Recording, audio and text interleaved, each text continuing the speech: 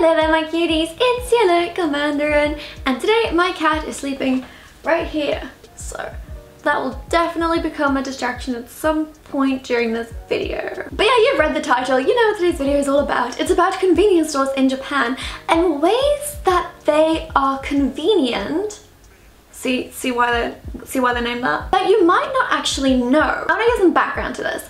So I'm from a country, the UK, where at least when I lived in the UK, I don't know if it's changed in the last few years, but we didn't really have like convenience stores. We had local supermarkets, which were just like small versions of supermarkets in local areas, but they closed at like 10 or 11. I used to work at one actually, Sainsbury's. We have like gas stations, which I guess sometimes sell like similar things, but I really wouldn't call them convenience stores. At least I wouldn't compare them to Japanese convenience stores. I think they're quite different. I actually don't really know what it is about the UK, but there's just not like a 24-7 convenience store chain. Has that changed in the last few years? Was it just because I didn't live in like central London? I don't know. At least what I'm trying to say is my first real experience with convenience stores was in Japan. They do have convenience stores in Sweden, but I left Sweden as like a child, so. So if some of these apply to like convenience stores in other countries, I do apologize. It's just because they're like amazing to me because I'm like, whoa, I can do this in the UK. Because I know that like a lot of the convenience stores, for example, 7-Eleven, I believe, are actually originally from America and they're like a big thing in the US. But I still really feel like a lot of these are like really unique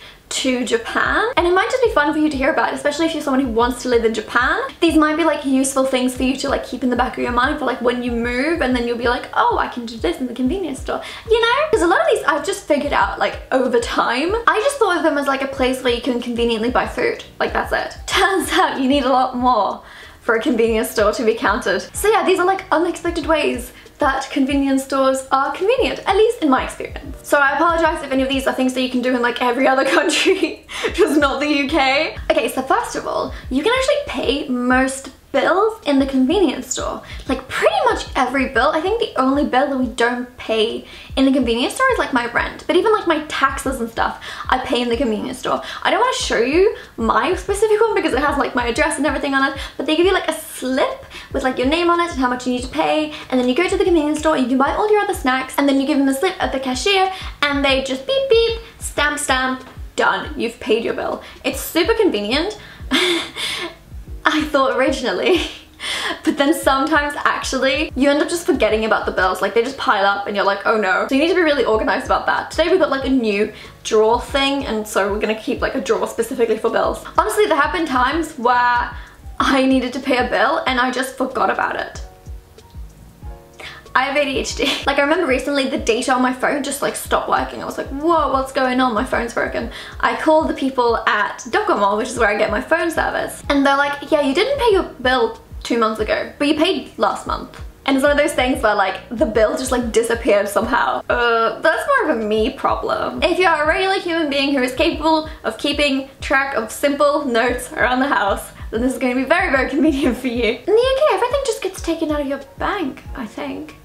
I don't know. I lived with my mum, so I just gave my mum money and she took care of everything. Oh, but that brings me to my second point, which is that you can also pay for your online purchases at the convenience store the same way that you can pay for bills. Now this is super convenient, especially in Japan because a lot of people don't have like a Visa credit cards or like debit cards. I actually don't know why. Like a lot of my friends just straight up don't have a card. Sometimes when I'm like really lazy and I don't want to fill out all of my information, I'll just choose the option to pay at the convenience store. And then once the slip arrives, whenever I go to the convenience store, because you go to the convenience store anyway, just for like midnight snacks and stuff, you know? I pay for my online purchase and that's it. You can pay for your online purchases with cash. Super convenient. I just, I feel like that's super uniquely Japanese. I actually think that that's how a lot of people pay for like online subscription services as well, like Hulu.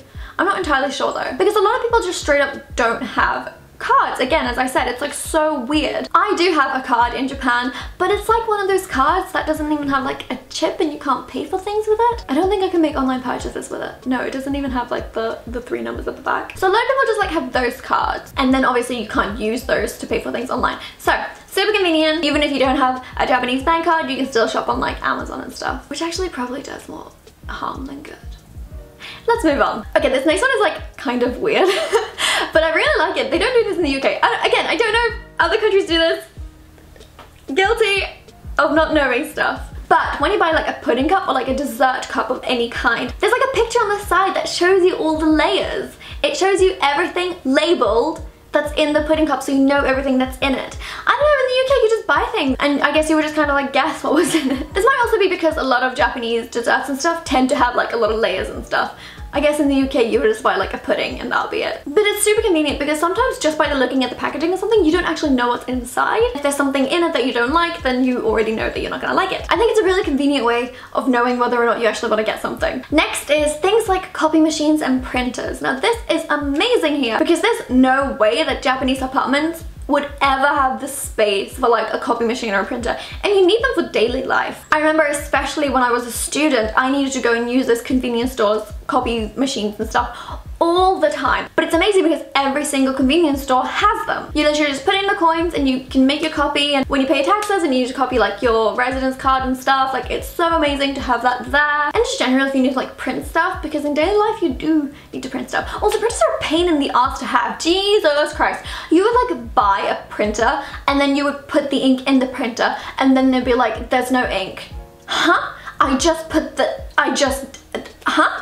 I'm glad I don't have to deal with that. Next is actually related to the Amazon packages. I probably should put those together. Oh well. If you're someone who's very, very busy and you live in an apartment that doesn't have like a thing for you to put packages and stuff in, which I definitely used to back when I was a student, I was always out and I never had like time to just wait around for a package, you know? What you can do instead is you can have it delivered to your nearest convenience store. For me, that was my local FamilyMart. I would just have it delivered to there. I would get a notification to say it was there. I would go, put in like my order number into a little machine, it prints out a ticket, give it to the people at the tills, give it a little scan, done. It's super convenient, especially because Japan is like a rainy season. Japan is like a really safe country, so it's totally fine to just ask them to leave the package outside of your door and stuff. But I used to live in like an apartment that didn't have anything covering my door or anything. So now it's actually rainy season, it's super rainy all day today, and it would just totally rain on my package. So when I was a student, I definitely used this all the time. Also now I have like Amazon lockers.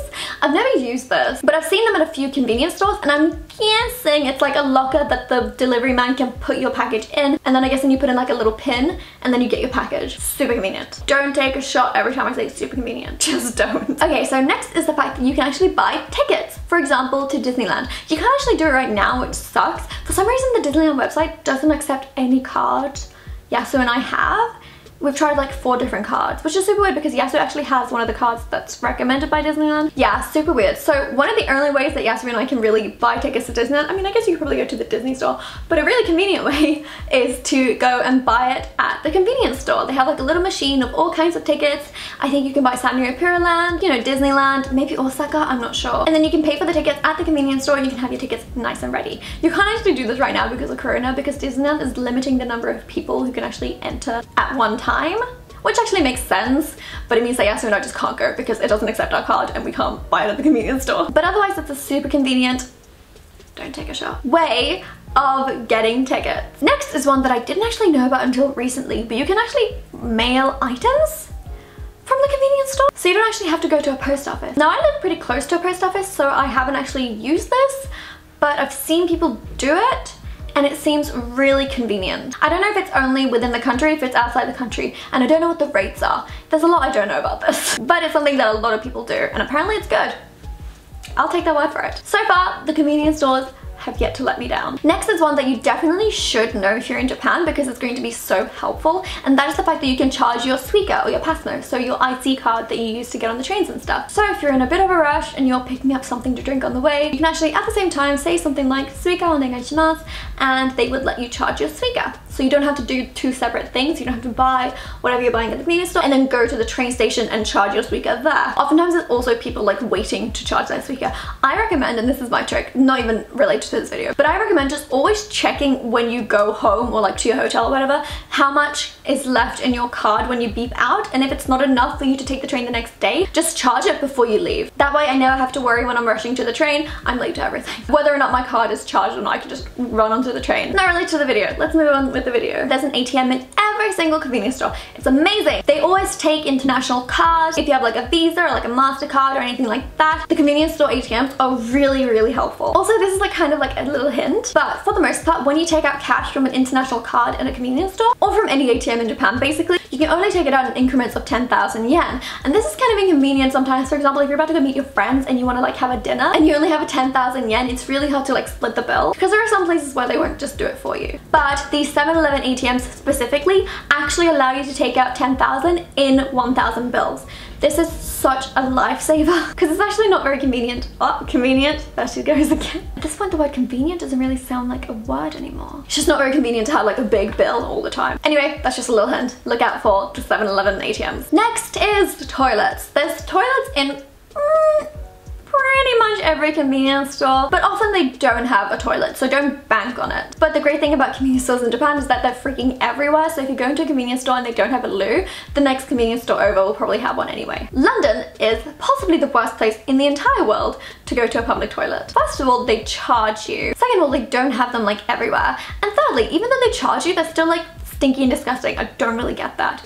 But in Japan, there's toilets everywhere, at every station, at convenience stores, just everywhere. They're free and they're very clean for the most part. So next time you're in Japan and you're dying for a whiz, check out your local convenience store. And the last one is bins. In Japan, they basically don't have bins at all outside. Like in London, they just have like, you know, trash cans all around, you know? I remember when I went back to London last year, the year before, I don't know what year we're. I was so impressed because are bins everywhere. It's so convenient. Like you can just throw stuff away, no problem. I've been told it's something to do with like terrorist attacks or something, but in Japan they basically just don't have public bins. But save for a very, very small amount of convenience stores that happen to be in very touristy areas, they pretty much always have bins. Okay, that's pretty much it for this video. Let me know if you found it interesting, if you learned anything new, or if these things can be done in your country because genuinely, I'm curious. I couldn't do most of these things in convenience stores in England because we didn't have them. Can someone correct me if I'm wrong, but like I swear the UK doesn't have convenience stores. I mean like the type of convenience stores that they have in like the US and Japan. I swear we don't. I'm gonna Google it right now. Oh, a corner shop. I still wouldn't say that a corner shop is quite the same as a convenience store. Corner shops close, like pretty early. And then there's just Sainsbury's logo, blah, blah, blah. Yeah, things that are considered convenience stores in the UK, I would not consider to be convenience stores. Sorry if that's controversial. But yeah, that's where I'm gonna go ahead and finish this video. Thank you ever so much for watching. Don't forget to hit like and subscribe. Thank you, bye!